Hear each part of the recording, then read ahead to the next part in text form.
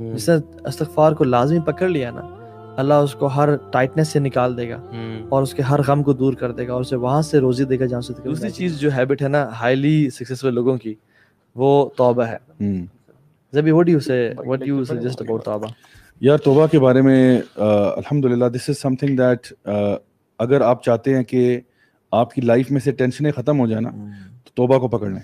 हदीस में आता है आप ने फरमाया कि अगर तुम चाहते हो कि तुम्हारे ऊपर से गम चला जाए तुम्हारा। तुम चाहते हो कि तुम्हारी मुश्किलें दूर हो जाएँ और तुम चाहते हो कि अल्लाह ताला तुम्हें रिस्क अता फरमाए वहाँ से जहाँ से तुम तुम्हारे वहम गुमान में नहीं है तो कसरत से इस्तफार करो। यानी तीन चीज़ें तुम्हारा गम चला जाए तुम्हारी मुश्किलें दूर हो जाए यानी गम भी चला जाए आपको जो डिप्रेशन है वो चली जाए आप चाहते हो कि आपकी जो मुश्किल है वो भी हट जाए और आपके रिस्क में इजाफा हो जाए तो इस्तफार कसरत से किया और यही चीज़ नूह इस्लाम ने भी अपनी कौम से कही थी ना फकुल तस्तगफिरु रब्बकुम इन्नहु काना गफ्फारा युरसिल समा अलैकुम मिदरारा व युमदिदकुम बिअमवालिन व बनीना व जअल लकुम जन्नातिन व जअल लकुम अनहारा। एक इस्तगफार करने से आपको कहा जा रहा है एक तो ये कि इस्तगफार करो अल्लाह ताला बहुत माफ़ करने वाला है। माफ़ भी करेगा आसमान से रहमत की बारिश बरसा देगा अल्लाह ताला तुम्हें माल में इजाफा देगा औलाद में इजाफा देगा तुम्हें बागात अता फरमाएगा बीच में नहरें जारी कर देगा यानी तुम्हें खुशहाली अता फरमा देगा। आज के लिए मैं कह सकता हूँ कि जिस तरह तुम्हारी बिज़नेस में फ़ायदा होगा तुम्हारे जॉब में फ़ायदा होगा फाइनेंशियली तुम स्टेबल हो जाओगे नेक और साले औलाद अता फरमा देगा। इन्वायरमेंटल फ्रेंडलीनेस हो जाएगी क्योंकि बारिश रहमत की बारिश बरस रही है इन्वायरमेंट अच्छी हो जाएगी। तो और तुम्हें क्या चाहिए? इतना अच्छी इन्वायरमेंट तो वो क्यों होगा? सिर्फ़ इस्तगफार से। और मैं बताऊँ पूरी की पूरी कौमें जो है ना वो इस्तगफार से बच जाती हैं और पूरी की पूरी कौमें इस्तगफार ना करने की वजह से जो ना अजाब में मुलविस होती हैं। सो इस्तगफार जो है ना वो तो सुबहान अल्लाह इस पे हसन बसरी के पास भी एक शख्स आया था ना हम्म। कुछ लोग डिफरेंट डिफरेंट आए और कहा कि मेरी औलाद नहीं हो रही। एक शख्स आया मेरी औलाद नहीं हो रही। कहा तौबा इस्तिगफार करो। चला गया स्टूडेंट्स हम्म। बैठे हुए हैं। एक और शख्स आया और कहा कि हमारे घर हमारे इलाके में कहत है। तौबा इस्तिगफार करो। एक और शख्स आया कि उन्होंने कहा कि पानी की कमी है पानी नीचे चला जाता है ज़मीन में। मुख्तलिफ़ अपने इश्यूज़ लेके आया। रिस्क का इशू लेके आया। कि रिस्क कम है तो बस उनके स्टूडेंट्स बैठे होते ना साथ उन्होंने कहा कि प्रॉब्लम्स मुख्तलिफ़ थी दी आपने सबको एक सोल्यूशन है। यानी इमेजिन एक डॉक्टर के पास अगर हम खामोशी से बैठे हुए हैं एक बंदा कैंसर लेके आया एक हेडेक लेके आया एक डाइजेशन प्रॉब्लम कैसे होगा पैराडॉल पैराडॉल पैराडॉल हम्म। इट वाज वेग तो हम्म, उन्होंने कहा कि ये क्या ऑकवर्ड चीज़ उन्होंने कहा कि तुम्हें सूरह नूर नहीं पढ़ी और यही आयत तिलावत की। हम्म। और ये जो है ना कि एक हदीस में आता है कि तूबा तूबा एक वादी का नाम है जन्नत में और ग्लैड टाइडिंग्स भी कहते हैं तूबा। लीमन वजद फ़ी सहीफती इस्तिगफारन कतीरा जिसने क़्यामत के दिन अपने स्क्रोल्स खोले और उसे कसरत से इस्तफ़ार मिल गया उसके लिए। खुशखबरी है अल्लाह के नबी एक एक महफिल में सत्तर से सौ मरतबा इस्तिगफार करते हैं अच्छा एक और ज़ईफ हदीस हदीस ज़ईफ है लेकिन उसका मतलब बिल्कुल ठीक है डिफरेंट कुरान और हदीस से उसका जो मतलब है ना वो है कि मलजिम जअल अल्लाह मिन कुल्ली ज़ीक़िन मखरजा व मिन कुल्ली हमिन फरजा व यरज़ुकु मिन हैसु ला यहतसिब जिसने इस्तिगफार को लाजमी पकड़ लिया ना अल्लाह उसको हर टाइटनेस से निकाल देगा हम्म। और उसके हर गम को दूर कर देगा और उसे वहाँ से रोजी देगा जहाँ से कभी इमेजिन नहीं किया था। ये डिफरेंस है ना बेसिकली देखें आदम अलैहिस्सलाम में और शैतान में। गलती दोनों से हुई। हम्म, आदम अलैहिस्सलाम ने इस्तगफार किया हम्म, और शैतान ने इस्तगफार नहीं किया। अच्छा, बल्कि तो- जम गया अपनी डिसोबीडियंस कभी कभी सोचता हूँ कि अल्लाह के नबी सल्लल्लाहु अलैहि वसल्लम वो क्यों इतना इस्तगफार करते थे मतलब आप उनको तो ज़रूरत भी नहीं है ना। हम्म। मतलब उनके तो सारे अगले पिछले माफ़ है। लिया लियगफिरल्लाहु लका मा मा तक़द्दम मिन ज़ंबिका व मा तअख़्खर। आपके हम्म। अल्लाह ने पिछले अगले पिछले गुनाह माफ़ कर दिए। More than example. Hundred time अच्छा एक और चीज़ मैं मैंने खुद भी एक बार ट्राई अच्छा क्यों मांगते थे? क्यों इस्तिगफार करते व्हाट डू यू थिंक एक तो हमारे लिए ना छोड़ के गए। हम्म, एग्जांपल के हमने कैसे हम्म, करना है इस्तगफार सुबह शाम जो अस्कार और सारी चीज़ें छोड़ के गए।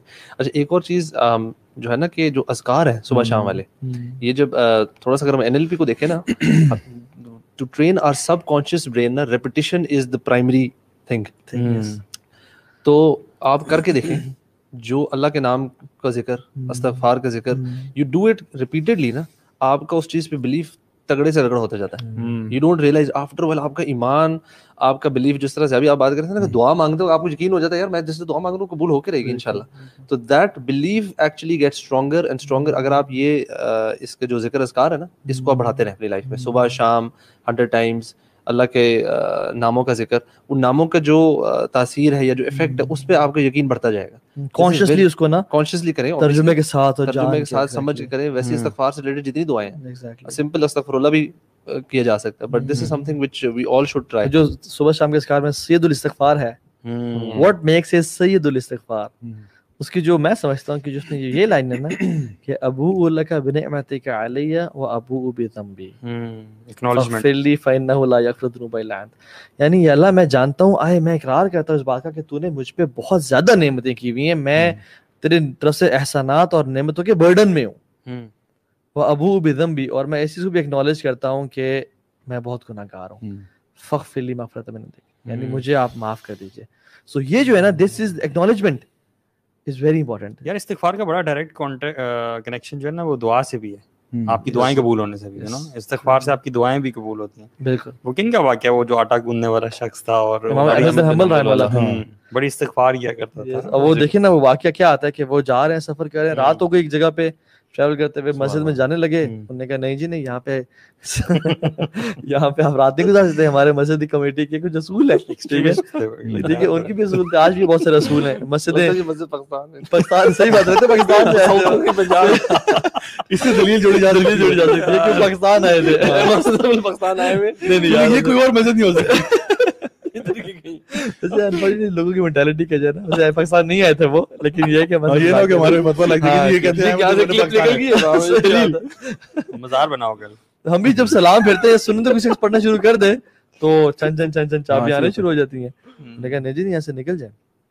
तो एक नान बनाने वाला जा रहा था हम्म। उन्होंने कहा कि क्यों बुज़ुर्गों को तंग करते बुजुर्गो साढ़े नाल आ जाओ ठीक क्या है? बात।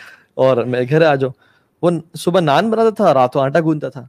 आटा गूंदते हुए कहता है अस्तगफुरुल्लाह अस्तगफुरुल्लाह अस्तगफुरुल्लाह तो इमाम अहमद इब्न हम्बल अल्लाह इमाम अहले सुन्नत वल जमा बैठे हैं देख रहे हैं कि यार इब्न तौबा इस्तगफार करता जा रहा है तो पूछा आपको इस ज़िक्र ने कभी फ़ायदा भी पहुँचाया है कहते क्या बताऊँ आपको पहले गरीब था फकीर था मिस्कीन था अभी माल इतना अल्लाह ने दिया इस रोजी से इस रिस्क से कि संभाला नहीं जाता जितनी दुआएँ दी सब कबूल किया ना ताला ने सवाए एक दुआ मैंने अच्छा एक दुआ कौन सी?